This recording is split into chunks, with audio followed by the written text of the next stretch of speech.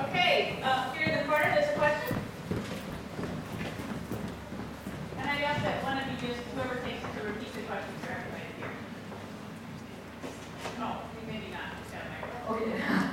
No, I just wanted uh, to raise a question because uh, uh, the concept of food hub, it's very good.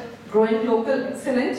I think even uh, uh, you mentioned about uh, moving on to diversifying the products and uh, trying to grow year long. Uh, but I just, it's something that was they wanted to know was, have you really tried to look into the environmental footprint of that? Because uh, when you're looking at growing crops uh, throughout the year or year long, for instance, if you want to grow tomato in New York State during winter season, probably you would require a greenhouse and that would have an environmental footprint in terms of energy that you would be required to light up the lighthouse. If you want to expand into dairy farms, then um, that, that will also further have an impact in, ter- in terms of methane emissions and greenhouse gas emissions and it would also have an impact on water quality. So when you when you really focus on growing local and uh, promoting local farmers and trying to have food locally, uh, have you really tried to look into the environmental footprint of that? Yeah, so I'm just gonna try to summarize the idea of going local and even thinking year-round local production, what are impacts environmentally. Sure. I think it's a great question. Um, We have not looked at that specifically for this project that we're spearheading in Western New York. Uh, Year-round production isn't happening right now. Um, And as far as I can see, um, it's not going to. I mean, we're not developing uh, year-round greenhouses right now to support that. Um, I'm sure there's a bunch of research on this. I don't personally have any at my fingertips. I don't know, Todd, do you? Um, Well, there's, there's a push on CEA, controlled environment, agriculture, so I think, um, you know, what you're talking about is sort of externalities, these non-market externalities to growth and how we value that in the context, at least from what I was saying in terms of impact. Um, I think it's important to consider what, it- what it's relative to what, right? So do we want to grow more tomatoes in the winter versus what, right? Uh, digging a coal mine, a terrible example, but you know what I mean? I mean, if we're going to talk about growth, it's, it's relative to something, so I think that's, that's important. Um, some of the work um, that we're working on building this whole rural wealth creation framework, and particularly, there's been a lot of work that I've read, um, you know, in the natural capital issue that's talking about these negative environmental externalities. So part of that is thinking about how you value these damage functions and things like that versus, you know, the valuation of, um, you know, the, the value of, of growing, keeping things, the landscape amenities, if you will. So, right, sort of the landscape amenities of, of rural and things like that. So, um, so, so we're kind of getting at that a little bit, but not directly. So, but I think it's also sort of just, again, thinking about growth here may produce some of those environmental impacts, negative environmental impacts, and probably will. And the question is how do you mitigate them, and what are the environmental impacts of the other choice, right? Which I, which I think is important to consider. Great, thank you. Another question? Oh. Sorry, oh, okay, you're next. Thank you. Um, I'm particularly interested in, in learning a little bit more about um, different challenges, challenges and, and opportunities that uh, they are in the state uh, in supporting local food hubs to help address um, local health issues such as uh, obesity and um, Obesity, is that what you said? correct obesity, So other food insecurity. Food hub impacts on um, access, obesity, or human health in general is what you're thinking about? We're not measuring that right now. Um, I imagine some of the food hubs that exist in New York are, or at least I would like to hope that they are, because a lot of the food hubs do have a direct connection to food access. And uh, of course, health outcomes, I would hope are somehow connected to that. So we're not looking at that right now. Um, I don't know any models off the top of my head that are, um, from a research perspective. Um, Tufts University is doing a lot of work in that area. So Tufts University, Todd's at, Yeah. is doing some work in that arena. Um, But yeah, I don't, I don't know of any right now that are. You know, I think if- if I could go back to, to your point, one thing I forgot to say earlier is, you know, there was this whole concept of food miles that was talked about. You know, go local, reduce food miles, right, not shipping from, you know, California. And that's all sort of been, you know, debunked to a lot of extent, right? Because it was sort of the unit train of apples coming from Walla Walla, relatively efficient environmentally per unit, right, of distance versus a lot of small trucks driving back and forth on, on rural roads, right? So I think, you know, some of the concept of this food hub is, is thinking about those distribution and logistics designs, but that's certainly part of, part of the issue that I think is kind of, you know, they've softened their argument on that, on that space. I'm gonna just make an additional comment. There are some interesting models of rural-urban partnerships that are developing, um, actually in some of the more central states in the country, in which urban farms or urban food procurers are actually connected to rural farms and able to distribute into the city to meet food access, food insecurity issues. So there are models out there. There's primarily case studies, the sort of um, economic and other impacts maybe haven't been accessed. In- In New York City, we had Corbin Hill, which is the example of a uh, food hub, which an individual, uh, a group of individuals had land in upstate New York, but for them to learn how to farm didn't make sense when there was a tremendous bounty of farmers that were very skilled, mid-sized farmers, who could actually fill a truck much more efficiently and move it into the community. So there are examples of those types of uh, hubs that are out there. So, And to add on to Corbin too, I would look at Grow NYC, I mean, food access is a big portion of their work, so they are, they're aggregating product, but they're dealing with a lot of underserved community agencies that may not, that may have trouble to access healthy food. They're doing box share programs, box share programs is a big program, or a big movement that's happening too, so I would look at Grow NYC.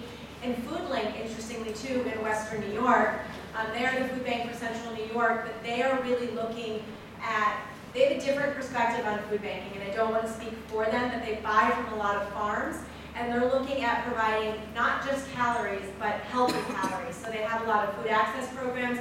They are, again, a tremendous purchaser of New York State products, and they're trying to connect that food access piece with the uh, benefits that we have being um, really rich producers of agriculture. So they're connecting those dots really effectively as well, and they're, I would argue, a really model example of food bank in New York State. great. Uh, there's a question here? Yeah. Uh, This kind of follows on something what uh. Uh, uh, uh, Assemblywoman Lupardo, who uh, I'd like to thank, I'm the Director of Economic Development for the City of Binghamton, and uh, Assemblywoman Lupardo has been tireless in working with the ag issues, but not just ag, but going across party lines and worked for like, uh, the built environment in Binghamton and improving it, so I can say thank you there. Uh, The question I have at some level is, one of the things we've been working on, kind of I keep knocking my head against it. Part of it is that I'm not the best grant writer in the world, I don't have the best at up front. As far as, I might agree with you. But, but the, uh, self, being self-aware is never a bad thing. But the, the question that we have, you know, that I have is like, what can I do to try to help draw maybe you guys into putting them, there's, there's some properties in Binghamton that really would scream, I look at that map where the food hubs are, where Binghamton is like a center, you know, the center of a big dead zone. And, and, uh, and, you know, how do we, how do we, how do we bring that in? There's a lot of, there's population, some population around there, I think, you know, worthwhile, there's enough farms within, uh, you know, a transportation link where we have, you know, three highways, three railroads, uh, you know, along the way to make that all work. I, I guess the question is, like, and it kind of goes back to the whole, how do you, how do you help the strategic, how do you help the granular, you know, the granular level, the, the, the tactical, on like the, the level where I mean, I have this properties in a highly distressed, you know, census tract, seventy-five, more than seventy-five percent low mod, you know, you know, kids getting, you know, lunches at, at, you know, at, at the schools. And you know, it's hard to get the REDC interested in really doing it. I think, I think part of the thing is they keep, I think what Don said, is everyone, they, they, they say it, but I don't think they understand what the food hub is what the concepts are. And I frankly, I'm not the best ambassador of that. I haven't been born in New York City. But the, uh, you know, is, is, you know, what can, you know, what can I do to make that easier for you to help? And what can I do to, you know, get other allies? And what would interest you to make that happen, you know? So I, I'm going to ask Cheryl, but then I'm also going to um, look to the audience a little bit to engage all of you in this conversation. So Cheryl, why you first start? Sure, um, so there was a lot in the question, and I appreciate that. Um, I'm a big fan of data, so, um, I like writing grants personally, it's like making a case, and if you win it, that's great.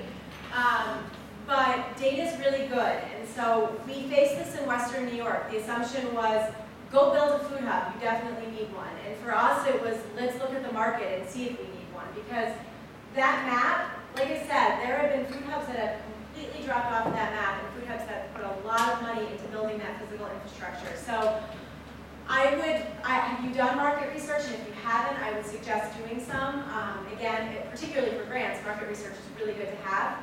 Um, it helps defend your case, but it also helps make the case, I think, too. I don't necessarily know, we're gonna reach a saturation point with food hubs, and so I'm cautiously optimistic about how many New York State really needs, particularly if they're not cooperating together. It's not, I mean, it's a big state, it's not that big a state. Um, so I, I do worry that we're gonna continue to put these food hubs all over the state, and we're gonna see more and more fail. And I don't, I just think that's the way it's gonna unwind. So I don't know if anyone else wants to tackle that, but I would suggest doing some market research. Um, again, you know, who are your buyers, who are your growers? Is there a good marriage between the two of those? Does it make sense to build another one? I don't know. Does it make sense to just support another one in your region that maybe your farmers could sell to? Um, but again, data I think is really, really important. I, I wanted to just also point to the local economies toolkit. Oh. And Because it, hey. Good point. Um, but in that, eh, I mean, part of all of this is how do we engage our communities and decide what the priorities are for local food investment? And so a food hub is one solution, but there may be others. And so part of it is embedding that conversation, having the data, using existing data sources to help us understand communities and our assets to make the case. So, want to say anything else about that? I just want to Uh, add something. Don, No, no, no, let's no, yeah. I had a couple. You to your, to your point, Bob, I think if you want to go down this road, we should convene a group of stakeholders and not just from the usual suspects. Okay, from banking and all the groups that might have stake in this. And to uh, her point, you know, about oversaturation, I don't think we need to worry about that frankly in the southern tier with ac- access to so many highways and transportation uh, lines that we're, it's almost crying out for that. And got people who want to do it the worst way. I just don't think they know why or how or, or who needs to be part of the conversation. That's why we should go pay a visit to some of these people and bring back the stories, but also get data. I, I do think the point that you make of underutilized existing infrastructure is important, right?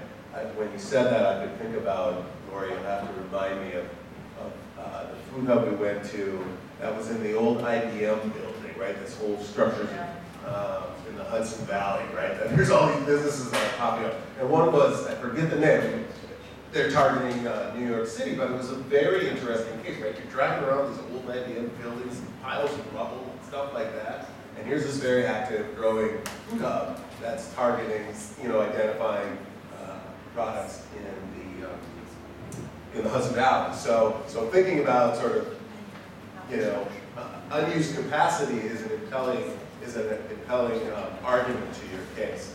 Um, But uh, Donna and and Cheryl are right, and, and I want to give you one example um, from northern New York. Granted, a lot different than, than Binghamton, uh, but we did an effort uh, on looking, you know, sort of food hub feasibility type of?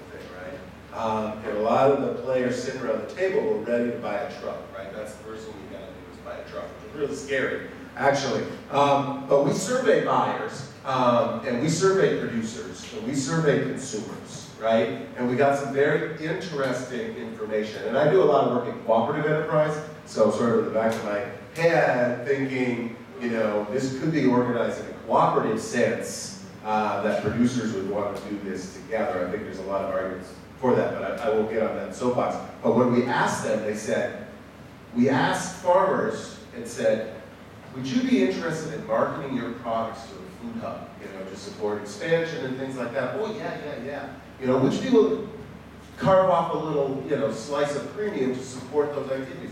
Oh, yeah, yeah, yeah, yeah.